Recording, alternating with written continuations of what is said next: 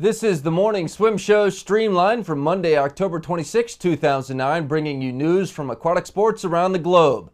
Germany's Steffen Deibler set a world record in the 50 short course meters fly on Sunday at a meet in his home country.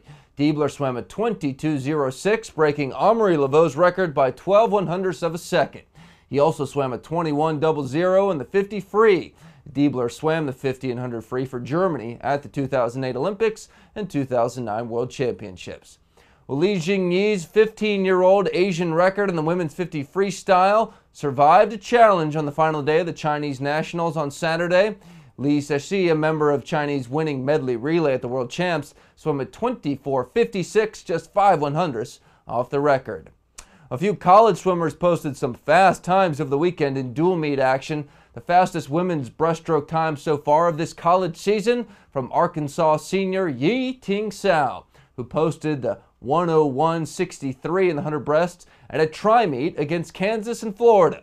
She also won the 200 breaststroke in 213.9 and the 400 IM with a 421.63.